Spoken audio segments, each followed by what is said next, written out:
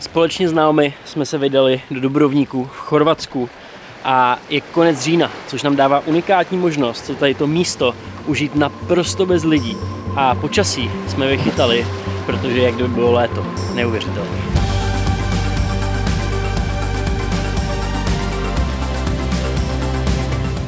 To tady fakt normálně jak z pohádky.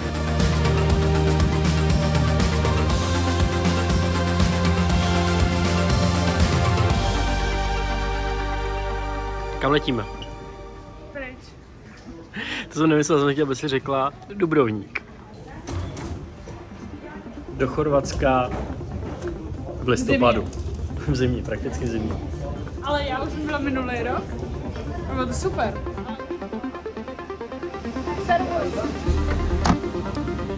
Už když jsme byli v letadle, tak bylo naprosto brutální počasí. Šíleně to házelo. A já jsem si říkal, co nás vlastně čeká v Chorvatsku. Jako počasí zatím...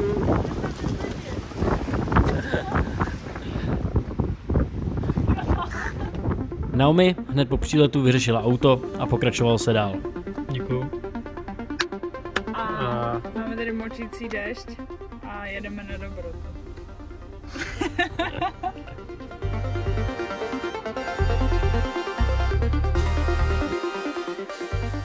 Nám uh, vymysleli plán, že kom půjdeme na čtyřkolky, na safari, poníků.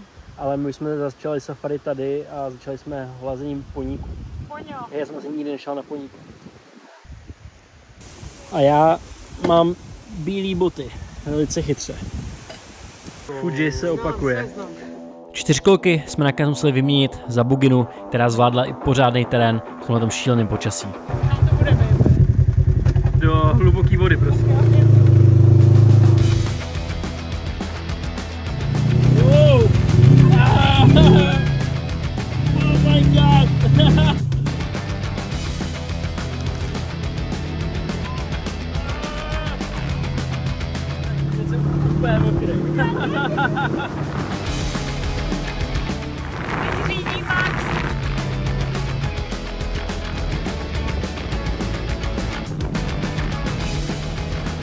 Tohle byla asi největší bouře, co jsem kdy v životě u moře zažil. Ten jsem naprosto šílený, to jsem vůbec nechápal.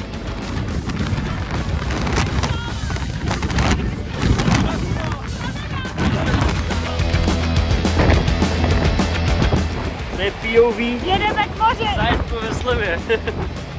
Vlastně jsme si to ale mega užili. Díky takovému počasí to bylo něco, co jsem nikdy v životě nezažil a myslím, že i pro Naomi to bylo docela nový. Ty jste gentleman. A dobrý to bylo, ne? Tohle hodnotíme dobře. Byla to zábava. Ale ta vyhlídka byla úplně top. Vyhlídka byla super a jsem hrozně rád, že mě nechal řídit. Já jsem hrozně ráda, že mě nedonutil. řídit. Vyspali jsme se a druhý den byl všechno naprosto jinak. Vlastně jsme ani nechápali, kde jsme se najednou probudili.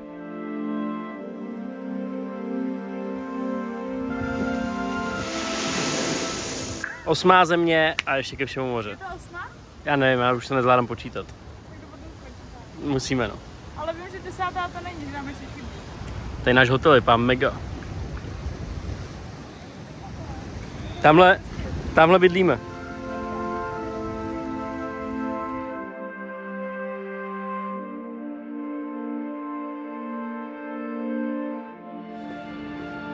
Zajímavý příběh je taky to, jak jsme se tady ocitli. Naomi totiž pozvalo Croatia Full of Life, což je něco jako Czech Tourism, jenže chorvatský. Takže tady máme od nich zařízený ubytko, auto, spoustu aktivit, který bych si normálně asi nevyzkoušel a máme tady trošku prostě jako Chorvatsko na stříbrném podnose, ale to ještě uvidíte.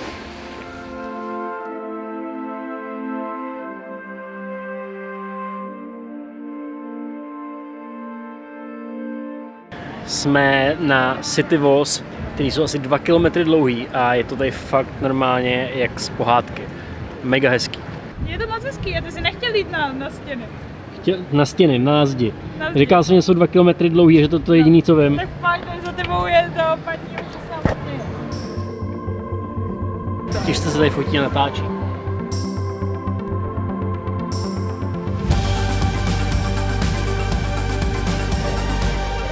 Jsem hledal.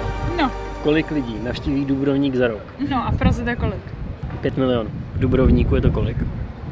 12. Milion? Cože? No, Prahu navštíví za rok pětkrát tolik lidí, co Dubrovník. To je nějaký divný, ne? Není, ale je zase pravda, že Dubrovník je tak 300 krát menší.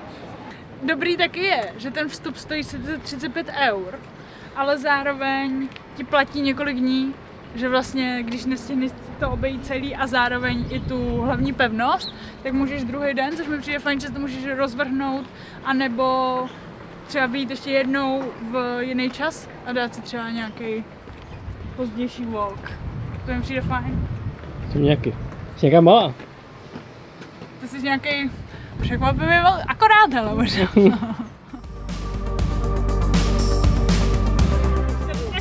Nádherný.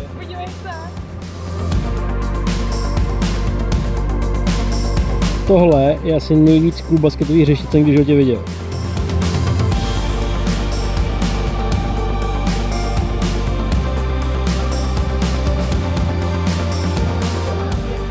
Tady je to fakt úplně vibe. Kočky, sušící prádlo, úplně život v Dubrovníku.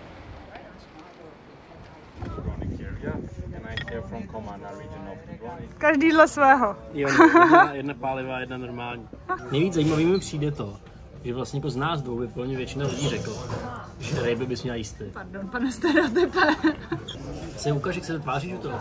A nedáš se. No, ne v žádném případě.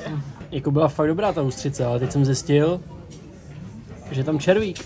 A tak to znamená, že je to fresh, ne? No to je hodně fresh, no. No zlatý chleba, takhle ti to povím. Chleba lepší. Jako reálně dokážu říct, že hodně ovoce. A je, je, je dobrý. Po ústřicích následovaly ještě dva chody a my jsme dostali skvělý nápad nechat si zabalit dezert sebou a vyrazit směr pláž. Jako já jsem říkal, že mi ten ND filtr sere, že mění barvy. A že dopadne takhle jsem nečekal. Sedl jsem si na něj. Tak to můžeš použít teď jako cool efekt. Ne, moc cool to není. Tak to vypadá, že normálně zvládneme to koupání, co? Pán se tamhle koupe. Jiný fík s mandlema, cream cheesem a hlavně lanížem. Ježišmarja. Shoutout restaurace Veranda. Veranda. Jestli říkáš, že je to teplý, tak tam skoč. Zas tak teplý ne.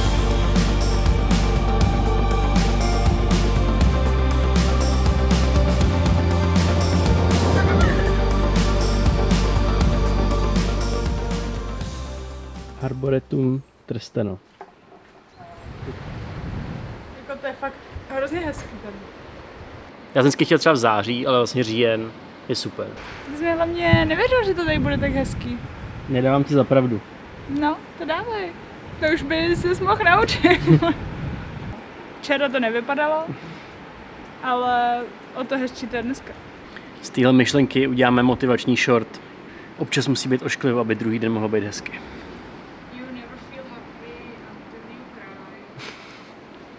Tohle poznám. To je banán! Mega! Chvilka napětí. Já to odemku. No dovnitř. Visitors main entrance, chápeš? Čmelda! Jsme byli furt na horách. Cíle to jsme na horách a na podzim jsme u moře. Tak jak to má Ideální. být? Tak jak to má být. Země budeme na horách, s tím počítám už teď. Budeš, budeš snowboardovat. No.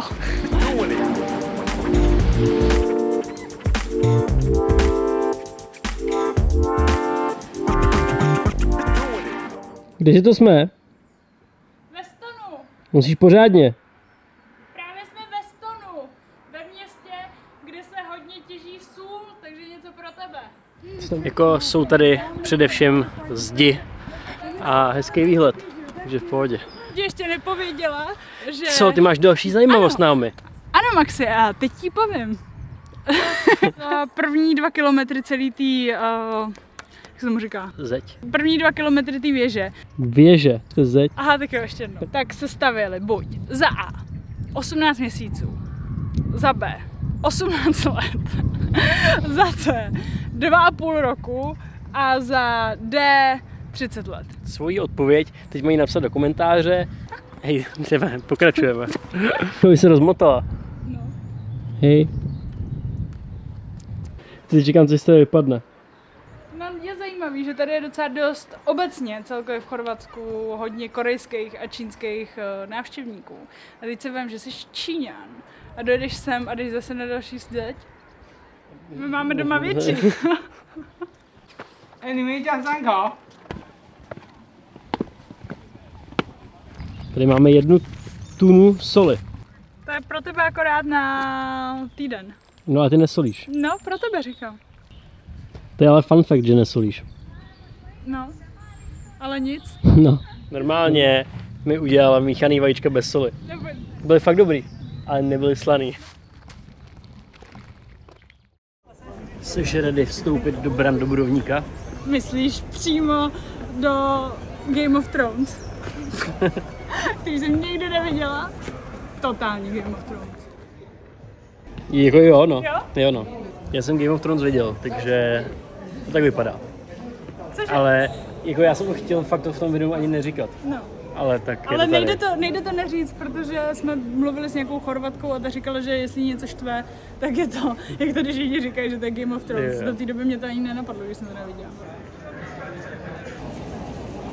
Pojď na kamenicu. What was the name of the reservation, please again? No mají nejlepší místo v restauraci. Tak jsem vyměnil ústřice za Skampy. krevetky. Hrozně horký. Jak se to jí? Jako těstovina. Ale bacha, je to fakt mega horký. Dívej, jak jsem to nabral? No nádherně, jsi gurmán přece. To je ještě lepší, jsem čekal. ne, fakt. Jako celý Dobrovník, baby. Náš komediální cestopis? Co to našel? Jaký mrtvý brouk, jsem myslel, že to je. Nevím, jak se jmenuje náš uh, komediální cestopis. Mrtvý brouk. Uh, Max TV. Neříkal jsi, že ten náš cestopis se jmenuje se Max TV. jako, pane, nebo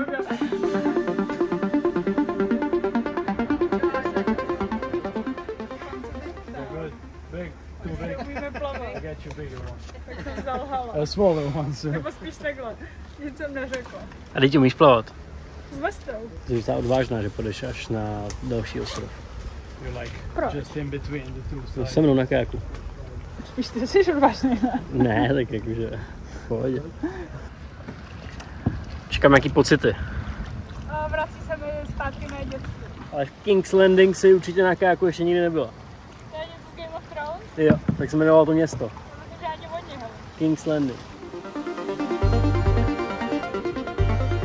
Kdyby vás někdy napadlo jít na tuto kajakovou tour, tak počítejte, že to zabere dvě a půl hodiny a že budete pádlovat 7 kilometrů. Pojďme si dát chvilku a ocenit, jak jsme dopádlovali daleko. Aspoň jsem otestoval vodotěsnost hodinek konečně. To jsem se hrozně dlouho bál udělat. A tady jsme upluli zatím 3 kilometry ze 7. Už jenom 2 kilometry.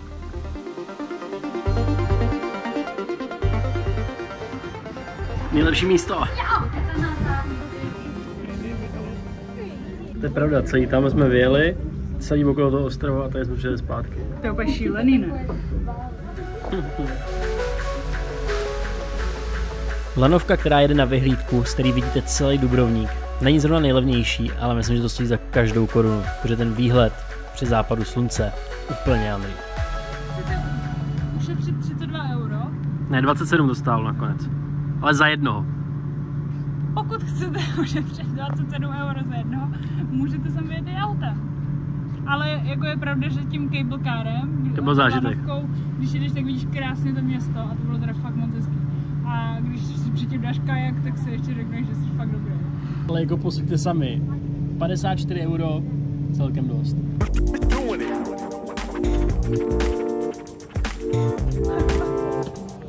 To je jak na Fuji.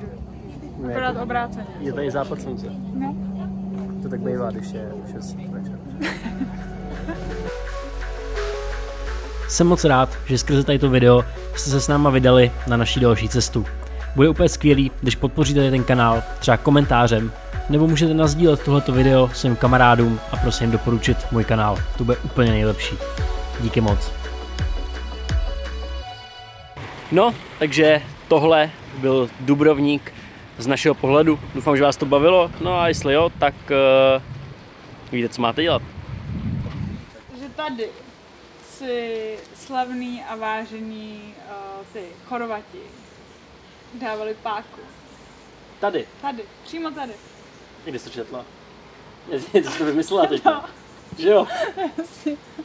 Jsi to věřil?